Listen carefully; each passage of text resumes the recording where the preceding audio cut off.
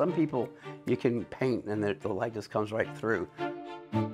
She did have a kind of a twinkle in her eye. Beautiful eyes. And when I got the call, I was just thrilled. I was really thrilled because Ruth Ginsburg, she is an American icon. My name is Michael Deas. This will be the what, 25th postage stamp I've done for the U.S. Postal Service. Uh, these are some of the stamps I've done. Uh, this is the first stamp I did was Tennessee Williams, and then Marilyn Monroe, Bette Davis. I did that one, and uh, Lewis and Clark. There's Edgar Allan Poe, Bogart, Duke of Cary Grant, uh, Thornton Wilder. I think it's six or seven covers for Time magazine. This is the logo I painted for Columbia Pictures. George Bush and Gerald Ford. One of the easiest I've ever had to do was Ronald Reagan. We couldn't miss. One of the most difficult I ever had to do was Audrey Hepburn. If you were off by just the tiniest little hair, it didn't look like her or it lost something.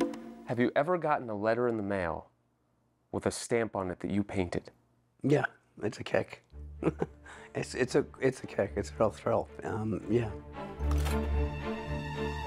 You see a particularly nice postage stamp, it kind of pulls you in. It's like a little, you know, miniature piece of art, if it's good.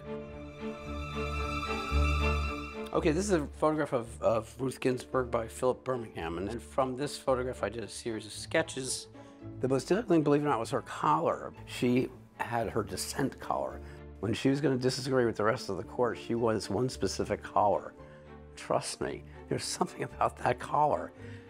It's geometric, and if you don't get the geometry just right, it, there's a ripple effect. If you try to fake it, it, it looks like you're trying to fake it. So the Postal are, they have a research company that looks into things, and they found somebody in Europe who made a replica of it. And then this is the finished version. That took about two weeks at least to paint just that collar. Looking at their face either draws me in, and I get interested, like, who was this person? What were they really like?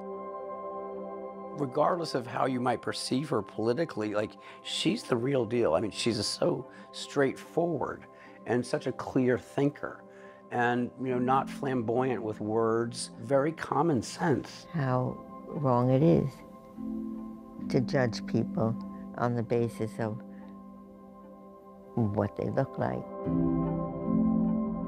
She made a tremendous difference in in women's rights one of the things i try to do in the stamp is um, to get a little hint of a twinkle in her eye, like a little bit of a wry wit. I think she did have a kind of dry, subtle sense of humor to add something to it. I don't want to just copy a photograph. I mean, anybody can do that, but I wanted to give it a little sparkle and a little bit more of a smile.